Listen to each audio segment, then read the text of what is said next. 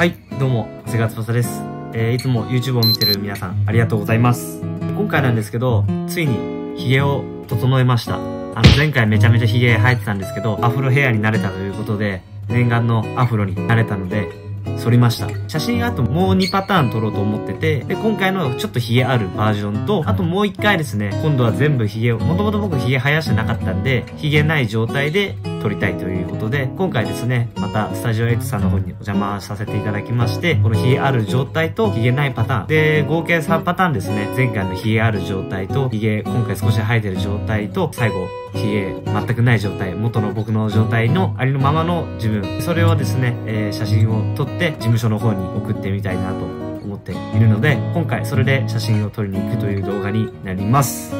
では早速、スタジオの方に行っていきたいと思います。今日はね、2回撮りに行きたいと思うので、2回に分けて撮影していきたいと思います。その様子をお届けしたいと思います。どうぞ。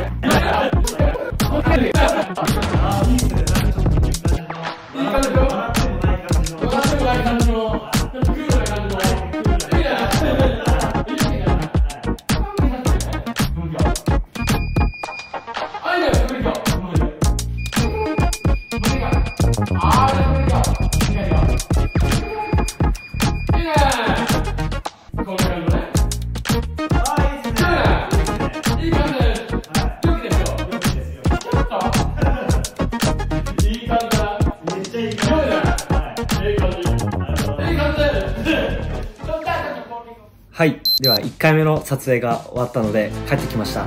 えーこれからね、また2回目、あの、撮りに行こうと思うので、これから髭を剃って、えーまた向かいたいと思います。えー結構1回目もね、いい感じだったので、すごくいい方なので、あの、また、あの、髭剃った後でも、いい感じの写真が撮れるように頑張りたいと思います。いい潜在写真撮れるように頑張りたいと思います。これから髭を剃っていきたいと思います。おさらば、お髭です。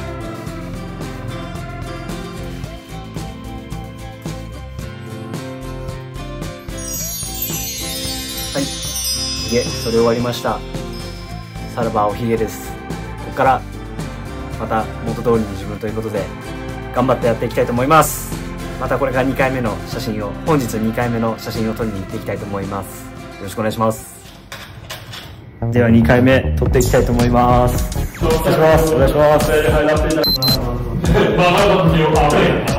それで、ちょっと、両手、そのポケットにね、ちょっと手を入れてもらって、振りか頑張